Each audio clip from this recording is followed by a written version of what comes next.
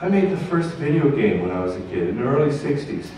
We found a hornet's nest inside of a pallet. And we took a big metal bar, because that's the stuff we played with. Because we played outside and we drank out of a hose. Yeah. And we stripped down to our short pants. Early 60s short pants. Took off our running shoes. Alleys didn't have pebbles, they had freaking rocks. And the two of us took this metal bar and shoved it into the hornet's nest and 15 Mississippis.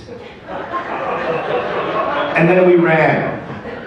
And then we counted bites. And whoever had the least number of bites won. And then we ate peanut butter and nobody died. And then we took gluten and poured it all over our bodies because we didn't blame a bad shit on a loaf of bread. And then we went to A&W and got a hamburger with beef that was grown here in Saskatchewan.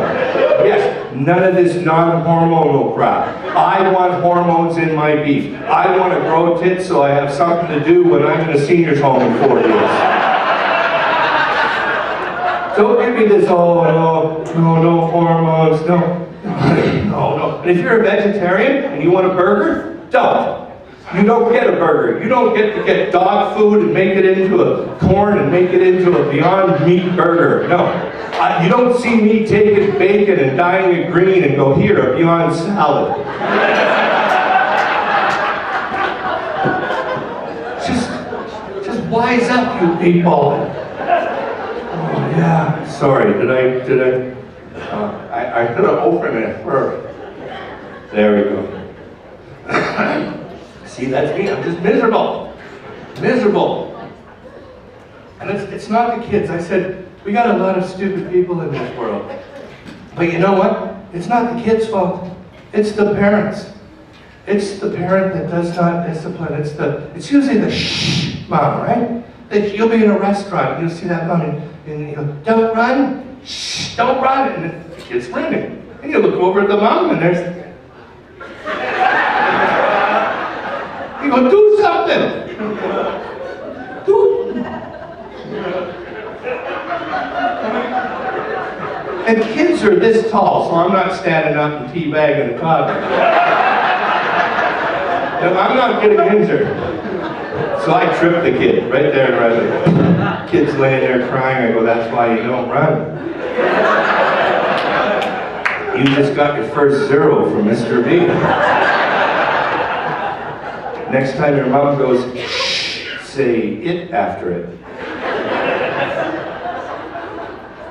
Because you, you've seen it. It's, it's, I, I was in a store, it was this crowded. There was expensive stuff like this, and the kids running that way. And the mom gets way over there and see her bending down talking to the kid. And go, good, here's a responsible oh, mom. She's giving them some alter, she's consequences for their actions. Stands up and the kid freaking runs again. This way, she catches him right here. I get to hear it now. She said, honey, mommy said not, not to run. M mommy doesn't want you to run. No, no, no.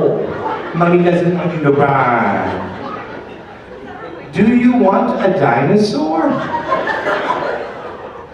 Okay, so she's going to buy something to this for this kid to reinforce bad behavior. I was raised by World War II vets. My mom was very similar. She picked me up and looked me in the eyes and go, do you want to die in this store?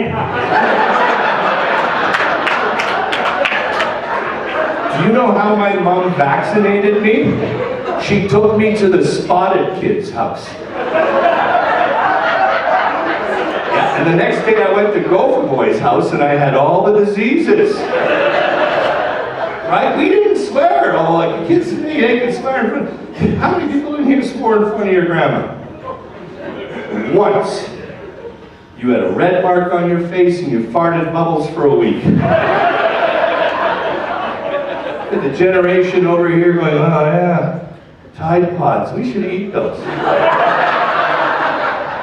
no, my generation, we ate them. That's after we said the F word and we had to eat them.